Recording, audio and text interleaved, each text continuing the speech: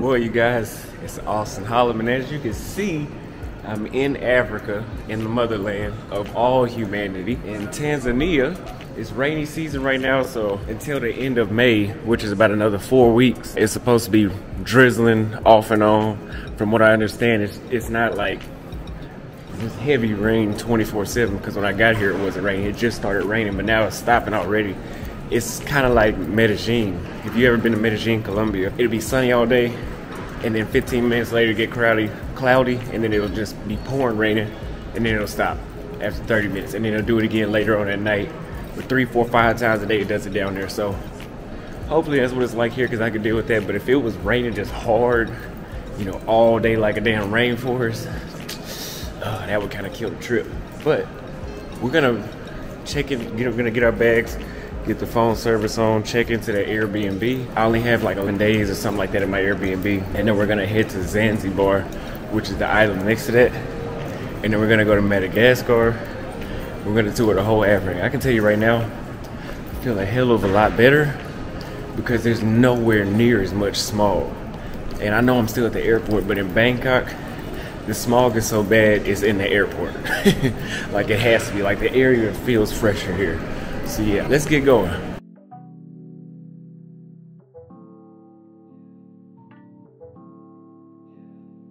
Now remember, uh, good thing about being here is they speak English. Everybody, because this was an English colony, but uh, everybody also speaks Swahili as well. Alright, you guys, so I got the most expensive phone plan they had, which was about $65, which is a uh, 130,000 of their currency, shingles, I believe it is. So now I'm gonna pull out a few hundred thousand shingles and we'll see what we can get, you know, how much food costs, that way you guys can get a perspective of how much it costs to be here. Alright, you guys, so I just got in a taxi. Gotta learn my lesson about taxis. The the Uber was only like 12 or 13 dollars, but the taxi charged me 40. But I should have. That, that's on me. We are here, and we are heading. It's about 30 minutes away from the airport. Now, guys, I want to tell you how I felt. What you're looking at right now.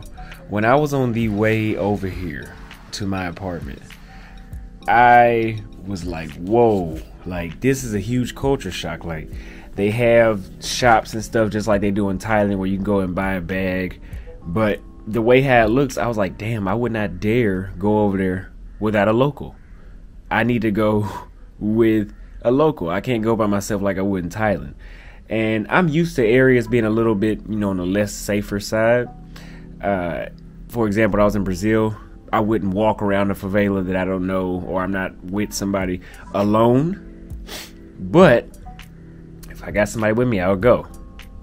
And I've been in Asia for about four months now and it kind of spoiled me to hey i can walk around vietnam majority of the philippines all of thailand pretty much uh, pretty much most of cambodia at nighttime by myself and not have to worry about getting robbed or snatched up you know correct me if i'm wrong but i ne- you know walk around at nighttime was not an issue but here uh you might want to second think that so you know but yeah y'all keep watching all right you guys so i've officially checked into the airbnb I started handling myself. I'm about to take a shower. But no matter what it looks like outside, this Airbnb is one of the best Airbnbs I've stayed in.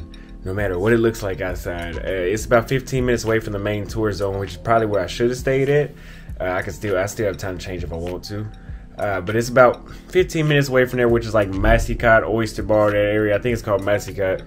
And yeah, we're gonna go check that out here in a minute.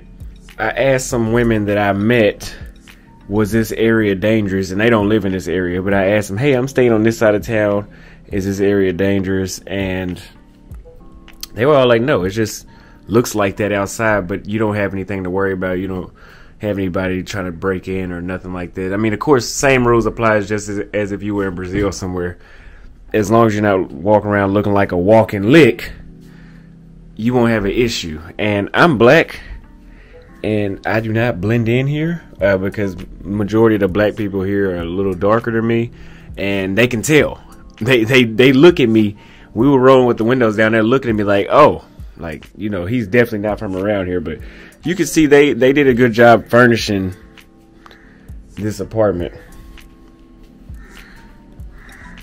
So uh, yeah, I'm gonna take a shower.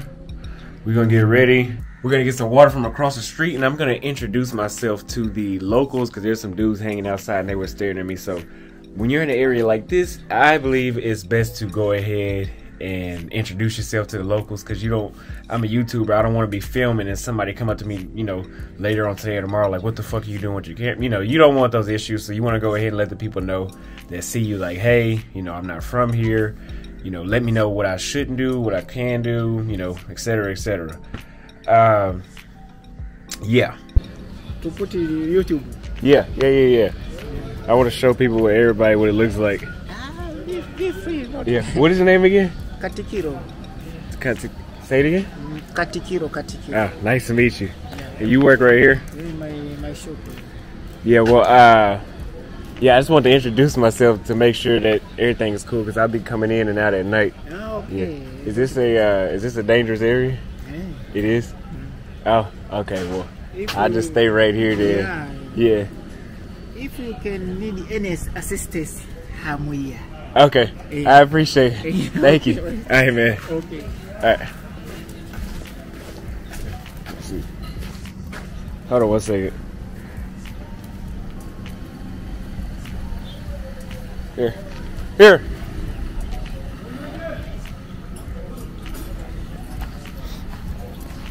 Hello. So I just asked the guy right here. He said it is. I was like, "Is this a dangerous area?" He was like, "Yeah." Uh, but he said just stay in this area. Hold on. Hello. Uh, Hey, how are you? good at you? Fine. Do you mind? I do uh, YouTube. Do you mind if I record? Oh, this is YouTube. Yeah. Do you mind? Oh, okay. okay. Is it okay if I record Uh, or? No.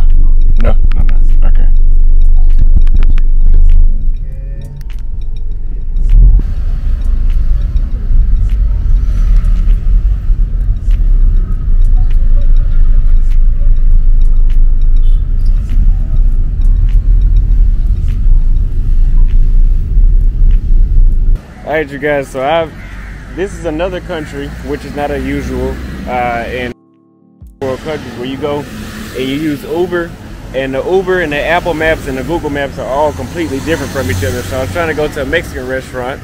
The Uber was wrong, and the uh, GPS, the Apple Maps was wrong. So I was gonna find anything to eat right here. I think I'm gonna. I think I'm gonna keep walking right here. And if I don't like, I'm gonna come back to this. Uh, whatever this is right here. I'm gonna let y'all see. Hello.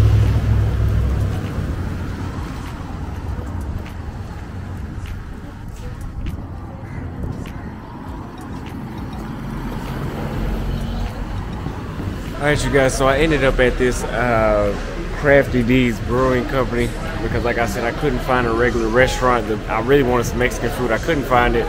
So this is what it looks like on the inside here. You have plenty of Caucasian tourists here, but I, I know there's a spot where there's a lot more tourists. It's not here. It's, it's not here, so uh, we're gonna keep walking around. I have a person that wants to meet with me, and uh, try to see if she can come here and show me around. And